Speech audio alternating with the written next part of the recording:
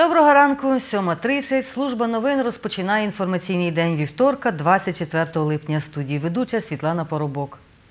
За минулу ніч, повідомляє речник управління патрульної поліції в області Роман Мартинюк, на автодорогах Житомир, Чернівці та Стрий-Знам'янка минулося без нетверезих водіїв і дорожньо-транспортних пригод. У Хмельницькому на службу 102 надійшов 31 виклик. Більшість з них це скарги на галас і пиятики в громадських місцях. Патрульні виявили водія, який кермував автомобілем із ознаками алкогольного сп'яніння. Сталася дорожньо-транспортна пригода, люди в ній не постраждали. Патрульні зафіксували 35 порушень правил дорожнього руху. Це порушення правил проїзду перехрест та невиконання вимог дорожніх знаків. Проїзд перехрестя на червоний сигнал світлофора та телефонні розмови за кермом, непристібнені ремені безпеки та невімкнені показники повороту при зміні руху. За ніч надзвичайних подій у місті не трапилося. У Хмельницькому перинатальному центрі повідомила акушерка приймального відділення Юлія Кирилюк.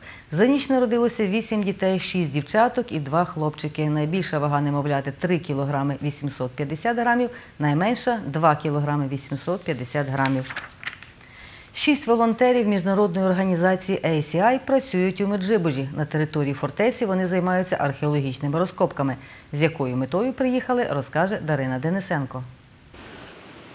27 годин дороги потягом та автобусом. Так до Меджибожа зі Швейцарії діставався волонтер Пол Робертс. Хлопець каже, в Україні вперше приїхав, аби більше дізнатись про українську культуру. У Меджибожі він та волонтери міжнародної організації SCI допомагають археологам. Ми багато чого зробили. Нам навіть дозволили проводити археологічні розкопки. Я був дуже здивований. Моя головна мотивація була поїхати туди, де я ще не був, та познайомитись з людьми, з якими я б продовжив спілкуватися. До того ж, я ніколи не був так далеко від дому. Тож подорож до України це пригода для мене. Еліан Прайсвик також приїхала на Хмельниччину зі Швейцарії. До цього побувала в Ужгороді та Києві. Я планувала долучитися до цього табору в будь-якому випадку. Я була в Україні до цього. Я думаю, це прекрасно. Тому що якби я відпочивала на пляжі, мені було б нудно.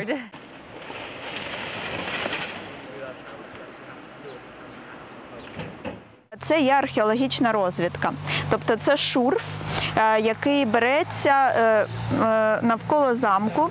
14 або 16 таких ям виривається, щоб побачити, де закінчується стіна. Тобто археологам цікаво дізнатися, як взагалі будувалися ці стіни, коли, де вони закінчуються. Саме такими розкопками і займаються ці волонтери. У Меджибожі вони працюватимуть до кінця цього тижня. В нас є представники з Фінляндії, Італії, Швейцарії. Ем... Та ще Іспанії, ну і Україна. Люди е, одразу ж вирішили, зробили систему якусь собі, тобто вони е, конвеєрним методом один копає, потім інший копає, потім інший носить. І коли ти так е, разом і відпочиваєш, і працюєш, і все дуже швидко. Дарина Денисенко, Володимир Паламар. Новини Поділля Центр. Хмельницький футбольний клуб Поділля розпочав чемпіонат України в другій лізі з перемоги. У першому турі хмельничани провели виїзний матч із рівненським вересом. Рахунок 1-0 на користь Поділля. Учора помер один із тренерів клубу Поділля Віталій Балицький. З цим клубом було пов'язане його життя з дитинства. Він був вихованцем цієї школи, тут розпочав кар'єру футболіста. Віталій Балицький грав у Київському ЦСКА, Луцькій Волині, Кропивницькій Зірці, Вінницькій Ниві, Броварському Навкомі, у Княжа Щасливого, Луганському комунальнику, Російській Аланії з Владикавказу та Румунському Клуж. Пізніше очолив Хмельницький клуб Поділля, тренував команду в аматорській та другій лігах чемпіонату України. Далі тренував дітей 2005 року в футбольній академії Поділля. Завтра в 11-й годині на стадіоні Поділля прощатимуться з Віталієм Балицьким о 12-й в Свято-Георгіївському храмі мікрорайону Дубова Хмельницькому відбудеться панахида. Завтра ж Віталія Балицького поховають на кладовищі Шаровечка.